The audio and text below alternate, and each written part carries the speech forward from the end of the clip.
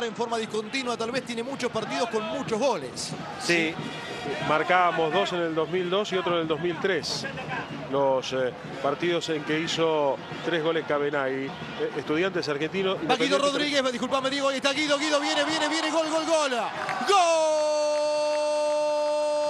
Sí, sí, sí, sí, de River. ¡Gol!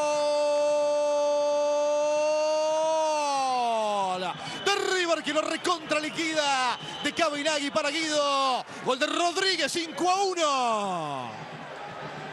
Bueno, ya no hay partido, señores. La supremacía es total. Está parado en cancha Atlético de Rafaela, dando ventajas enormes, defensivas. Por algo es el equipo con más goles en contra en este torneo. Va a tener que laburar muchísimo Negro Estrada con su cuerpo técnico ante un equipo al que se le han ido muchísimos jugadores en los últimos tiempos y no se han reemplazado con la jerarquía suficiente. Balanta. Recién nomás Guido Rodríguez. Cuatro de Cabinagui.